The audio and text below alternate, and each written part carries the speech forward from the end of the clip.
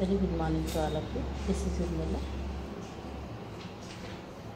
Bharat Ratna mother Teresa అమ్మ Teresa నీవు భారతరత్నమైనావా పరాయి దేశంలో పుట్టిన నీవు భారతదేశంలోని అనాథల ఆర్ధనాదాలు విని వాళ్ళని ఉద్ధరించి ఆదరించి ఎందరెందరో నిరాశ్రయుల గుండెలలో గుండెలో నివసిస్తూ చివరికి భారతరత్నమైనావా ఈ రోజులలో అనుబంధాలు ఎలాంటివంటే కన్నబిడ్డలకి తల్లిదండ్రులు తల్లిదండ్రులకి కన్నబిడ్డలు అవసరానికి అండగా నిలవరు. స్వార్థంతో నిండిపోయాయి సకల బాంధవ్యాలు అలాంటిది నీకు ఏమీ కాని దీనజనుల్ని అందులోనూ నీకు పరాయి దేశస్థుల్ని అదేగాక ఒకవైపు దరిద్రము రోగము మరోవైపు ముసలితనము పసితనము అవిటితనము మరణావస్థల్లో అలమటించిపోతున్న అనేక మంది అనాథులకు నాథురాలువై ఆదరించి వాళ్ళ అవసరాల్ని తీరుస్తూ వాళ్ళ హృదయ దే హృదయాది దేవతవై చివరికి భారతరత్నమైనావా?